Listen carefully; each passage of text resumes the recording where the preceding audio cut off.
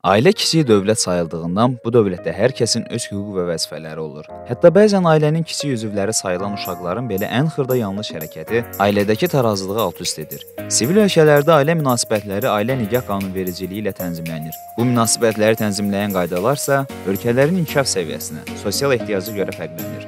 Azərbaycanda da ailə münasibətlərini tənzimləyən qanunvericilik bazası mövcuddur. Bəs görəsən ailə münasibətlərində tarazlığı necə qorumaq olar? Bu məsələdə ən çox yük ailə fərdlərindən kimin üzərinə düşür? Sizcə ailədə yük kimin üzərində olmalıdır? Xanımların yoxsa bəylərin? Həm bəylərin, həm xanımların üzərinə yük düşür. Yəni bir tərəfi yükləmək düz deyil. E, ona görə mənə elə gəlir ki, həm qadın, həm kişi indiki halda e, həm işləməlidir, həm evdə bir-birlərinə dəstək verməlidir. Kişinin öz məsuliyyəti, öz ağırlığı olmalıdır, qadının öz məsuliyyəti, öz ağırlığı olmalıdır.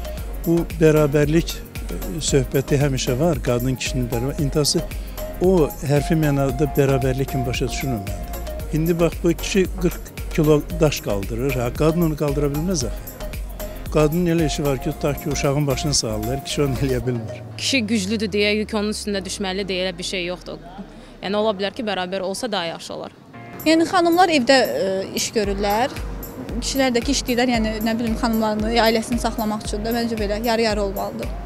Xanım kişinin yükünü götürməlidir, kişi də xanımın qadınların üzərinə daha çox yük nəyə görə düşür? Çünki ev işlərində, uşaqların tərbiyəsində, uşaqları vaxtında məktəbdən aparıb məktəbə gətirmək, yəni ən çox mənə elə gəlir ki, məsuliyyət baxımından, uşaqların tərbiyəsi baxımından qadınların üzərinə daha çox yük düşür.